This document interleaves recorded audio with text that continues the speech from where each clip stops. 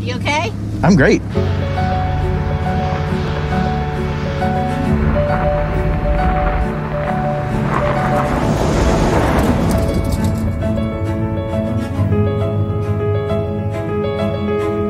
When you look at Infiniti, we're all about innovation, technology, and being daring, and we look for doing new things in a new way.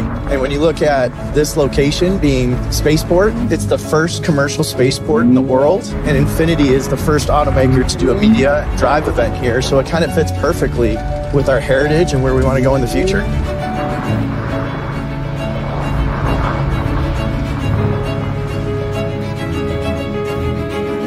Look at luxury, we're trying to see luxury in the modern world and not as something that can't be touched or used.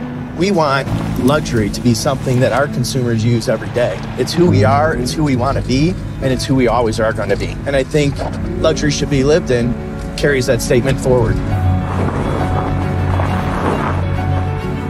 I couldn't imagine living in luxury being anything better than what this is right now. This is absolutely crazy, and this car is fantastic. The future looks very bright.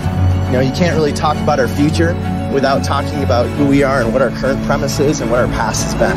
And our premise has always been simple. We're about performance, we're about styling, we're about comfort, and that's always going to be in our DNA as we move forward.